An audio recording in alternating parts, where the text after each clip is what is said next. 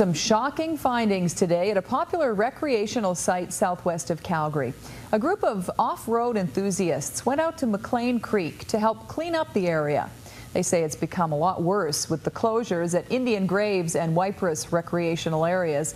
As Carolyn Kury de Castillo reports, volunteers ended up not only hauling out loads of garbage, but towing out new vehicles that were abandoned throughout K-Country. The big buggy is a huge machine that could crush anything in its path, but volunteers are using it to clean up Kananaskis. Today they found this Jeep, license plates removed, abandoned on the side of a hill. It's routine for them to find so-called grad presents scattered here and then claimed as stolen.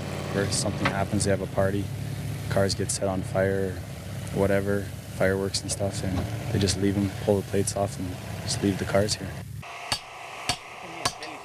The volunteers are 4x4 users who fear losing this area. They pick up garbage, drain ruts, fix bridges, and now they're building a fence to keep irresponsible off-roaders from making this mud pit any worse.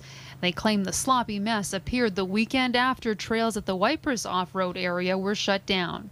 Uh, I don't blame any user group. I blame the government for lack of control, lack of, uh, they don't make any laws, which can't be that hard. I mean, this is a park.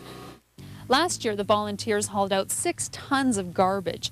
That includes everything from abandoned cars, mattresses, furniture, propane tanks, tents, guns, all these things found in these random camping sites. They don't realize they're going to lose these areas. Mm -hmm. It's frustrating because the government just wants to close them down. And that's not going to stop the uh, problem. That's just going to move it somewhere else. According to these users, the McLean Creek area is a mess and getting worse with the closures at Indian Graves and Waiparous. They want to see more enforcement to keep people on the trails. It's a moral rule, basically, uh, since our government won't give us rules. But you just you don't don't go into it because it destroys it, and then it gets the siltation into the water, and it hurts the fish, and then the siltation goes further downstream into Calgary's drinking water. You go to Gooseberry and the rangers are always there. Come here and there's no policeman, there's no enforcement of anything. So it's free reign to do whatever you want. All the money for the fencing and hauling stuff to the dump comes from the volunteers' pockets, who will do whatever it takes to keep this area open for everyone to use. Carolyn Kury de Castillo, Global News.